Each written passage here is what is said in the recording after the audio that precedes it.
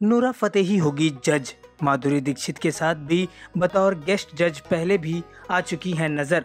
TV reality show dance Deewane junior जल्द ही TV पर दस्तक देने वाला है और मेकर्स शो की तैयारी में जुटे हुए हैं। शो का होस्ट कौन होगा, शो को जज कौन करेगा, इन सारी बातों पर अब चर्चा भी होने लगी है सूत्रों के अनुसार ये खबर सामने आ रही है कि नूरा फतेही को मेकर्स शो की जज बनाना चाहते हैं आपको बता दें कि नूरा फतेही बेहतरीन डांसिंग के लिए पहचानी जाती हैं। वो TV reality show Bigg Boss में भी बतौर कंटेस्टेंट नज़र आ चुकी हैं। इसके अलावा नूरा ने कई फ़िल्मों में आइटम नंबर्स किए हैं और वो कई फ़िल्मों में भी बतौर एक्ट्रेस नज़र आ चुकी हैं।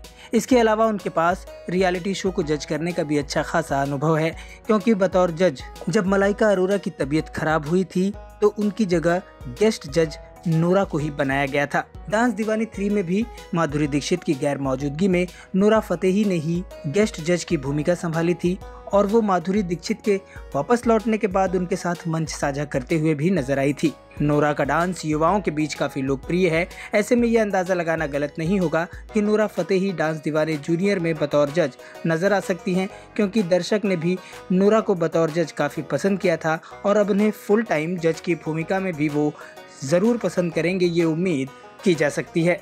टीवी और इंटरटेनमेंट से जुड़ी इसी तरह की खबरें लगातार पाने के लिए आप जुड़े रहिए हमारे चैनल से और अपनी प्रतिक्रिया कमेंट्स के ज़रिए हम तक ज़रूर पहुँचाएँ।